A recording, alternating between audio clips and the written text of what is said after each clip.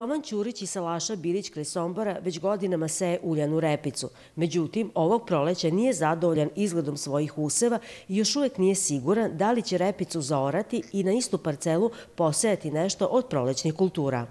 Imao sam kasnu, se, kasnu setvu, loše nicanje i dosta insekata koje sam suzbio, ali napravili su veliku štetu. I sad eto, još uvek se dvoumim da li da ostavimo u parcelu ili ne. Seo sam puno već, e, veće parcele.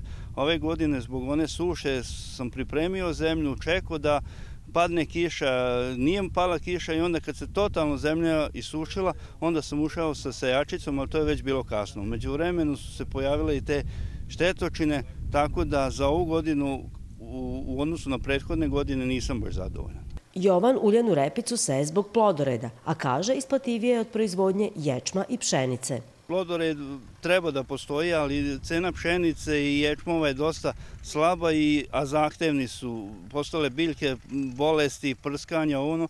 Uljana repica je problematična samo u nicanju. Posle se ona kad se ojača i to nema više nikakvih ulazaka, ne, nema puno održavanja, tako da da isplatila mi se par godina unazad veoma dobro. Evo, kažem, sad je ove godine samo bio problem taj sa, sa nicanjem i ništa drugo. Uljana repica prošle jeseni u regionu Zapadne Bačke posejana je tek na 1800 hektara, što je manje nego prethodnih godina. Razlog je upravo bila suša u vreme optimalnih rokova za setvu.